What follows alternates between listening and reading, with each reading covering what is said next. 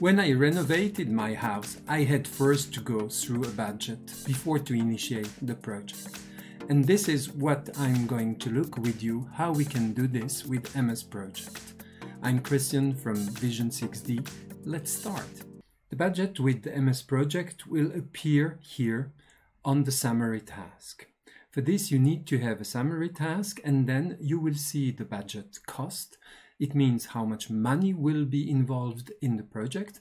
And you can also have the component of work, how many hours will be worked. Usually the worked hours are in businesses or companies, the internal resources and the cost are all the kinds of resources like machines, but they are also services.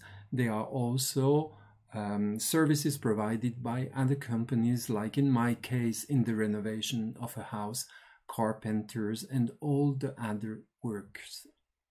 For that project, I'm using the different phases initialization, conception, realization, and closing. The first thing we have to do is to get the summary task. For this, I go here up into format, you see, and here on the right, we have the possibility to make the summary task appear. So it's what I will do. And you see here, I have already a title in place, which is house renovation. Now I will need some resources in this project. And for that, I go here and I will take the resource sheet. So in the resource sheet, you see that I have set the different uh, works that I will have.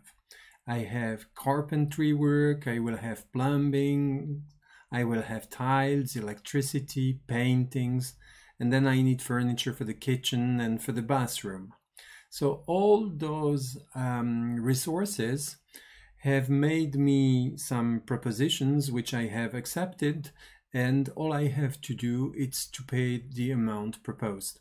So that's the reason why they are all defined as costs and I kept here the carpentry as material or as work to make you able to see how to change this.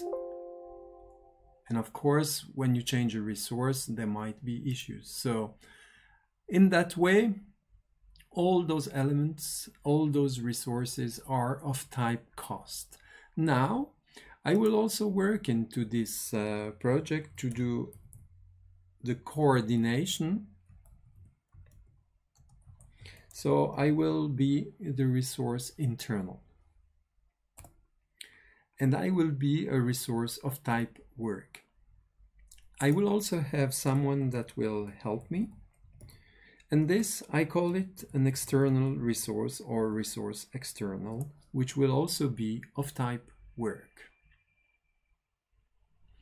Those resources now, if I go to the carpentries and I look at the information of that resource, I need to make sure that my resource here is of type budget. And I say here, okay. So this has been done for almost all the resources except the one except the one I just added now. So I will do it. Set it as a resource only for budget and the same for the second one.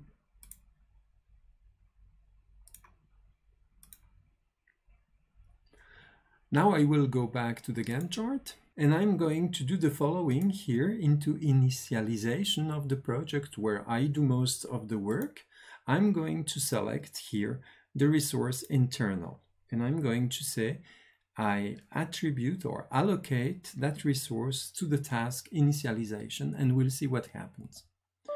MS Project is refusing since this resource is of type budget and this can only be allocated to the summary task of the project.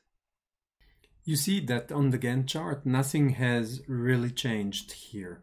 So I'm going to enlarge this part a bit and what I want to do is to add new columns here and I will go and look for the columns relative to budget. So I will take first the budget cost that I add here and now I will also insert the second one that you just saw, which is budget work. I will remove that column, hide it, like that we have more space, and I will also hide the one here in front. Now I will go into the task itself. For this, I go into information. And into information, you see here that we have resources, and for the moment, nothing has been defined. So I will start here with the carpentries as I will need as a resource. After that, I will need the electricity and I will add all of the resources we have here.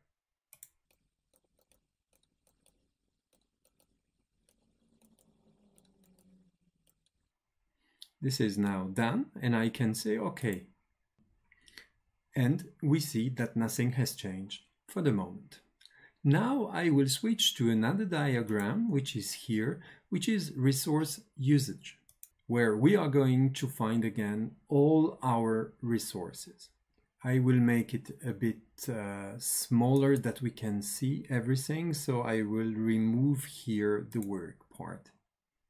Like that, we see all our resources, and what you see is that each resource now has already the task, the summary task, house renovation.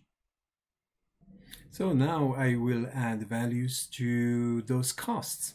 So for the house renovation of the carpentries, it will be a 50,000. For the plumbing, it will be 6,000. For the tiles, 4,000. Electricity, it will be 6,000. The paintings, there will be 2,500. And I need also furniture for the kitchen. This will be a 10,000. And furniture for the bathroom, this will be a 5,000. So these are all the resources of type cost and I have now still those two resources, the resource internal, which will be myself. And for this, you see that I don't have any more cost, but hours. So I will be involved for 300 hours. And the external resource, I will set 100 hours. With that, we are almost done we have the resource in terms of cost and the resource in terms of work. So now I go back to the Gantt chart and you see here that uh, we have now the budget cost, which is the sum of all those costs we just did. And here the budget work, which is also the sum of the work involved in this project. So this is the way we are bringing budget to MS Project. This will be helpful if you want to baseline to get a reference, if you later on want to compare your real costs to the budgeted costs, or if you want to compare the budgeted work to the real work, to do those comparison, you will need to baseline the project. So this will be shown in an additional video. Now, for good project management practices, we should add margins to the budget. For this, we are going back to the resource sheet. And here we could add margin cost, which we defined as a cost value and margin work, which we define as a work resource. I need now to define that resource also as a budget resource.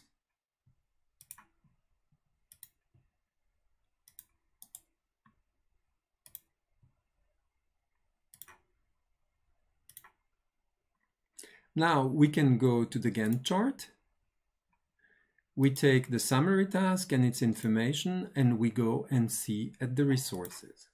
And here down we will add a margin for cost and we add a margin for work. I have worked for some administrations where if in your budget or in your project you don't have margins, then the project is not accepted. There are some others that really don't care about this. And there are also some where you cannot put margins. So you have to find another name for the margins. I have a video about margins that will give you plenty of ideas about how to have margins and why to have margins.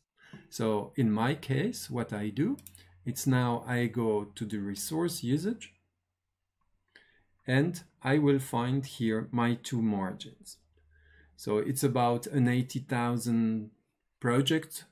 So I will say that I set about 10 to 15% of margin for the cost. So I put 8,000. And for the work, I will also do about the same. And I will add here about 40 hours. Like that now, if I go back to the Gantt chart, you will see that the figures have slightly changed.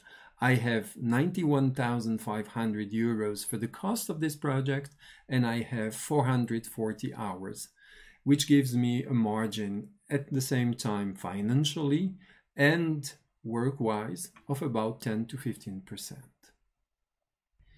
So now, if in your company you have several projects competing against one another to get approval, uh, the comparison is often made on the budget. So it is clear that it's difficult to compare two projects uh, which have work components as well as cost components. So often you will see that the budget work is converted to a certain amount. For example, there are companies where they say that our work rate is about $100 or 100 euros, and they convert those 440 hours into a money value, into a cost. And like that, you just have one value, which is the total cost of the project that you can compare between projects.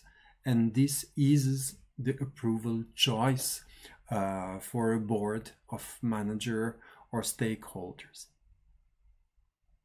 Now, I had a few comments of people asking me what's the difference between cost and budget. Budget, it's something that you do at forehead of the project into the initiation steps and it's to have an idea how much is the budget of this project. Costs, they are really when you are into the project and you start to order things, the work starts to do, then you follow the costs. So this is the difference between budget and costs. And we have and I will present you a video on costs as well.